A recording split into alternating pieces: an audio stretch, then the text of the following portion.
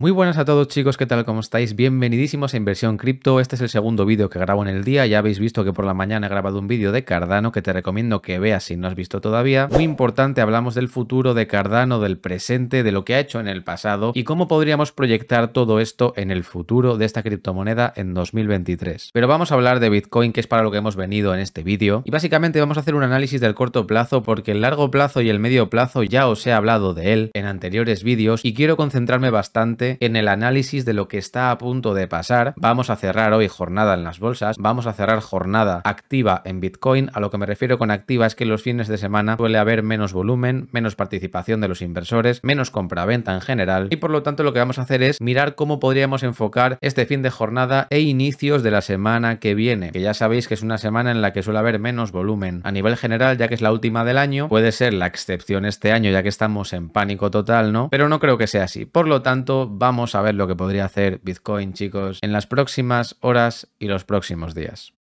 Muy bien chicos, lo primero es que os agradecería un montón, como siempre os digo, que deis like a este vídeo, que os suscribáis si no estáis suscritos y le deis a la campanita, porque es la forma que tenéis de apoyarme y me sirve un montón. Así que lo primero, muchísimas gracias y vamos allá con el análisis. Como estamos viendo, estamos en gráfico de 4 horas, como siempre estamos últimamente. ¿Por qué? Porque tenemos una línea y referencias técnicas a plena vista, como estamos viendo aquí, bastante identificables, ¿no? No quiere estar por encima y es un pesado, y yo también soy un pesado, chicos, pero es que lleva 5 días en esta resistencia, no la supera. ¿Podría superarla? Bueno, de eso hablaremos ahora. Lleva, como digo, 5 días toda esta semana en esta resistencia, como vemos con sus más, con sus menos, un punto pivote muy importante, ya sabéis que llamamos punto pivote a estos suelos de aquí o a estos techos que ahora actúan como resistencia y que nos están frenando la cotización del activo. En un gráfico de más corto plazo vemos que cuando se rompió esta línea de tendencia en RSI tuvimos una caída bastante gorda, al igual que la tuvimos en esta zona con otra ruptura de línea. Ya sabéis que cuando se rompen líneas de tendencia en RSI o líneas de tendencia en el gráfico son indicadores bastante bajistas que hacen que el precio se desplome en el corto plazo muy rápido. Pero como es una línea que ya está rota, vamos a borrarla porque ya no nos sirve. Llegó a niveles de sobreventa para luego luego impulsarse hacia arriba. Por tanto, aquí sacudida cascada de liquidaciones de largos, aquí de cortos, aquí también de cortos, me refiero a shorts y longs para los que no entiendan a lo que me estoy refiriendo. Vamos a operaciones de futuros. Y en este gráfico, que en este caso es de una hora, estamos viendo que el activo está bastante nerviosete, está nervioso, no sabemos qué pasa por aquí. Tenemos sacudidas, movimientos bastante amplios, pero a nivel general el intercambio, la compraventa está entre los 16.900 y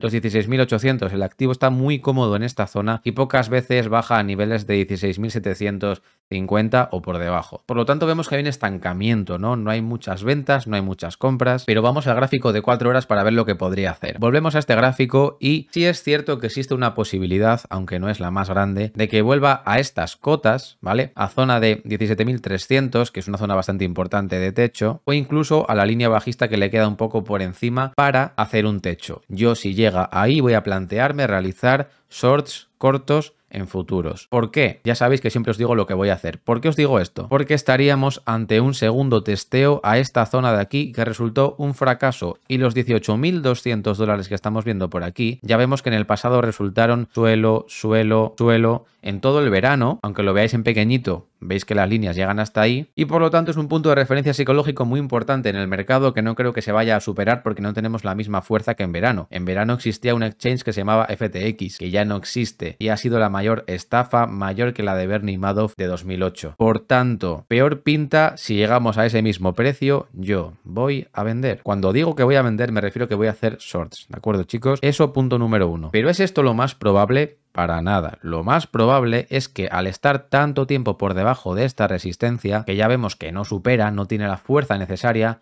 lo más probable es que esto acabe cediendo, se empiecen a liquidar largos que están ahora mismo poco nerviosetes y ante la presión vendedora el activo caiga a zonas de 16.130 que es el anterior suelo que tenemos. Podría pararse en el suelo relativo que dejó hace unas horas o más bien hace unos días de los 16.400 ya que podría caer evidentemente con zigzags hasta llegar a este punto, ¿no? Lo que yo no me esperaba sinceramente es que aguantase tanto en este punto. Yo pensaba que iba a caer antes, yo pensaba que ya fuera hacia arriba o hacia abajo, iba a salirse antes de estas cotas. Y la verdad es que no. se ve que está estable, aunque incómodo, pero está estable en esta zona. Por lo tanto, hoy es viernes. Si cerramos así y las bolsas, que vamos a ver el SP500, que tampoco se ha movido mucho, es decir, cae, sube, cae, sube, está por la zona de 3800 y no se decide, si las bolsas cierran así, que básicamente en gráfico semanal es horrible, ¿vale? Hemos rotado de máximos a mínimos casi. Si las bolsas, como os digo, cierran así, Bitcoin se mantendría estable el resto de la jornada del fin de semana si no surge nada fundamental que nos dé pánico. Siento que este vídeo sea un poco informativo y que no cambie muchas mentalidades en el público, seguramente en vosotros,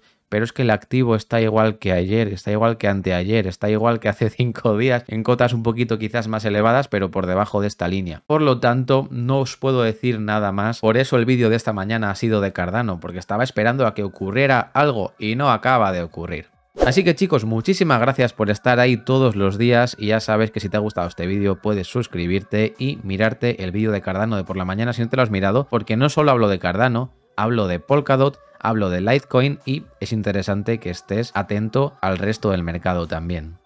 Hasta luego chicos.